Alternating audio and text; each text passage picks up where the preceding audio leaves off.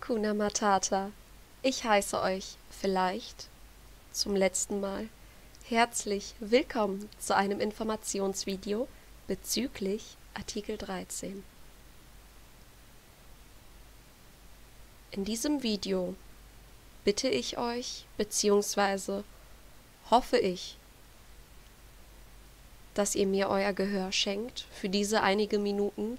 So toll wie ihr das auch schon bereits die letzten achteinhalb Jahre immer getan habt. Achteinhalb Jahre ist eine verdammt lange Zeit, die wir gemeinsam mal mehr, mal weniger miteinander verbracht haben.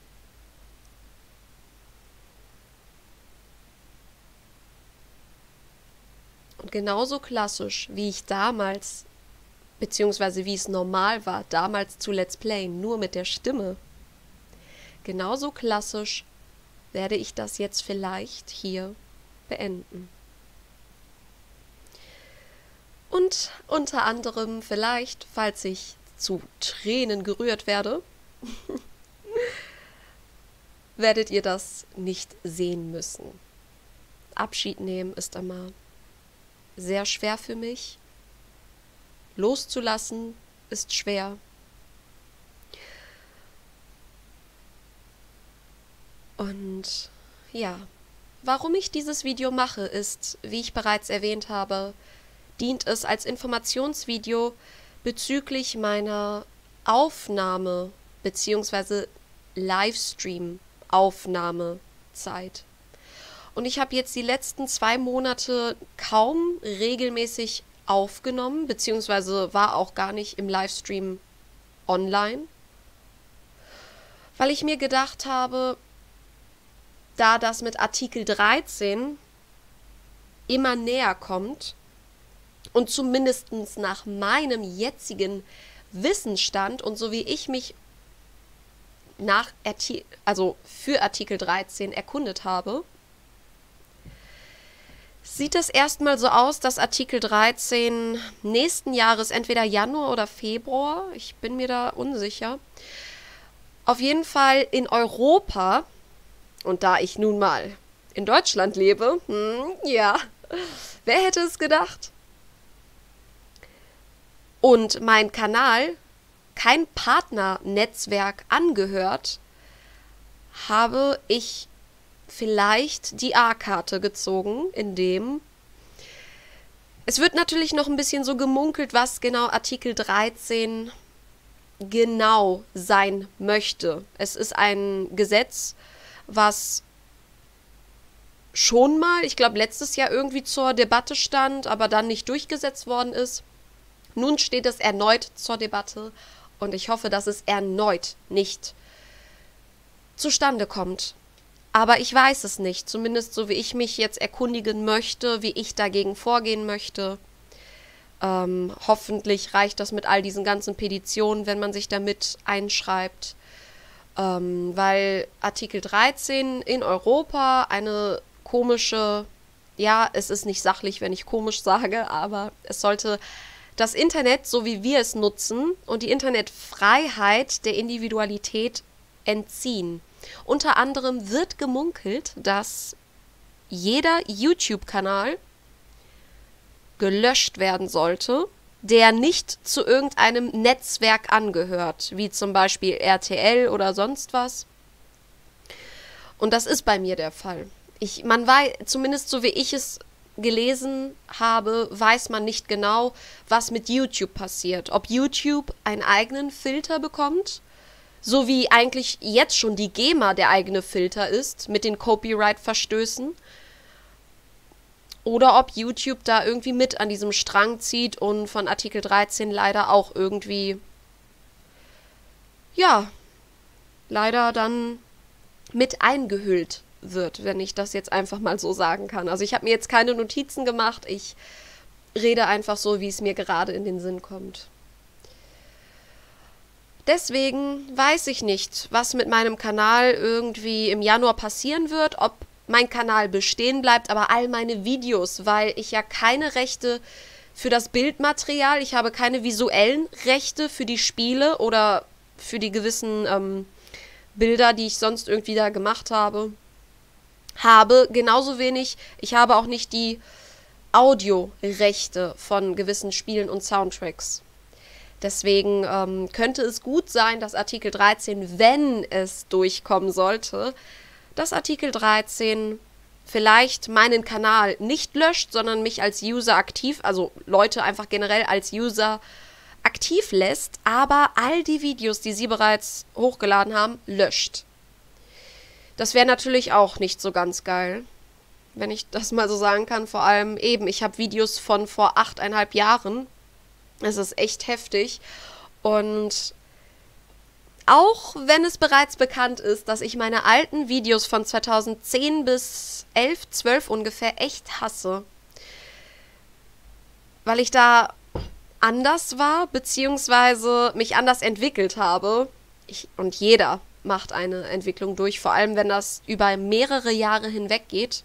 Es ist also wie bereits gesagt kein großes Geheimnis, dass ich meine älteren Let's Play-Videos wirklich so mega peinlich und beschämend finde, aber die meisten davon sind noch ebenfalls öffentlich.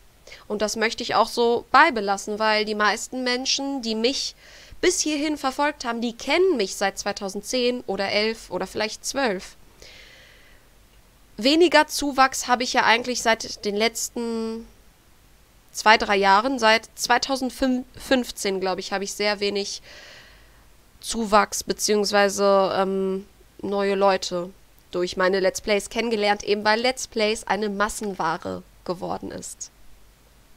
Und nur große Let's Player, die bereits irgendwelchen Netzwerken angehören, ähm, werden viel eher geschaut als kleine Let's Player, so wie ich. Nun gut, was ich also generell euch gerne sagen wollte, euch super, super treuen, liebevollen, herzlichen Toastbrot-Geschwister und Zuschauer, ist in erster Linie, dass ich mich, dass ich mich wirklich für die ganz tolle Zeit und für die tolle Unterstützung bei jedem einzelnen von euch ganz, ganz aufrichtig und ganz herzlich bedanken möchte. Vielen herzlichen Dank, dass ihr mich auf diesen Weg unterstützt habt. Mit dem ein oder anderen Toastbrot-Zuschauer, Zuschauer, so, bessere Aussprache, ist ja dann doch eine etwas mehr Bekanntschaft draus geworden mit den anderen. Ist das vielleicht auch mal zu einer Freundschaft geworden? Und dafür wollte ich mich wirklich sehr bedanken. Ich habe durch euch so viel gelernt. Und ich hoffe, dass ihr genauso viel wie ich von euch mitnehmen konnte, dass ihr genauso viel von mir vielleicht mindestens genauso viel mitnehmen konntet für euch. Ob es nun im Entertainment-Sinne ist oder irgendwie im tiefgründigen Sinne oder im individuellen Persönlichkeitsentwicklungssinne was auch immer. Ähm, genau. Denn ich werde jetzt erstmal bis Artikel 13, äh, bis man das mit Artikel 13 besser geklärt hat, werde ich jetzt erstmal keine Let's Plays mehr machen. Wenn ich die Nachricht bekommen sollte und mitbekommen sollte, dass Artikel 13 gecancelt wird und nicht durchgeführt wird, dann werde ich wahrscheinlich ab Januar oder Februar ganz regulär wieder einen Livestream-Upload-Plan erstellen, mir Gedanken machen, an welchen Tagen sich für mich freizeitmäßig das Aufnehmen lohnt, weil ich ja, wie bereits erwähnt, eine Vollzeitbeschäftigung als Berufung nachgehe. Deswegen ähm, kann ich halt einfach nicht jeden Tag Livestreamen. Besser gesagt, können ja, aber ob ich die Kraft und Lust dazu habe und ob es dann ansehnlich wird, ähm, ist so die andere Sache. Deswegen, damit ihr jetzt Bescheid wisst, für den bis Ende Dezember kommen keine Let's Plays, keine Let's Talks, keine philosophischen Grundlagen, die ich wirklich schon seit zwei oder drei Jahren machen wollte. Es kommt also keine Lookbooks, kein dies und das und jenes. Es kommt einfach jetzt wirklich gar nichts von mir die nächsten drei, vier Wochen.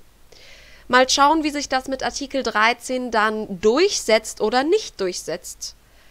Falls es sich durchsetzt, müssen, werde ich ja sehen, ob mein Kanal dann gelöscht wird oder ob mein Kanal besteht, aber meine Videos gelöscht werden.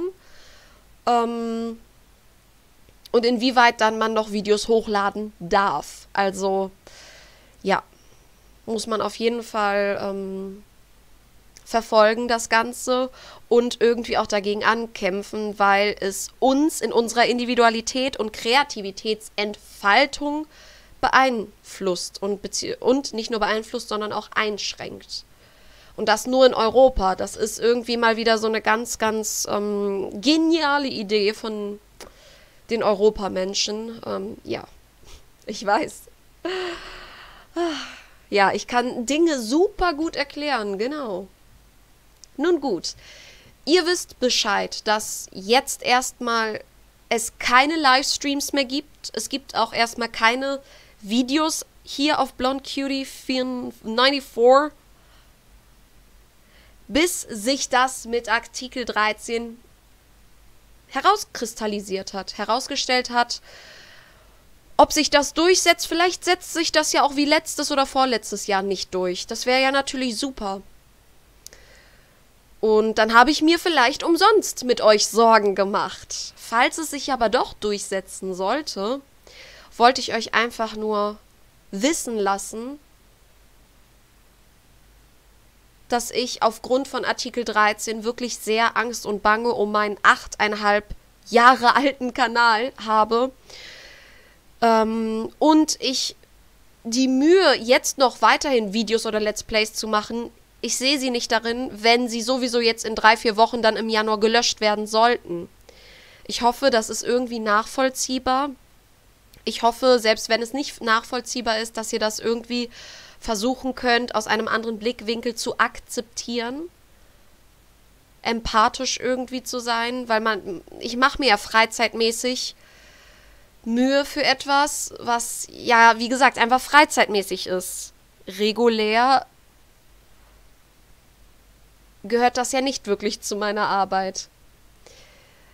Wenn man das unter diesem Aspekt, weil ich ja keinem Netzwerk angehöre oder kein Partner von irgendjemandem bin. Genau.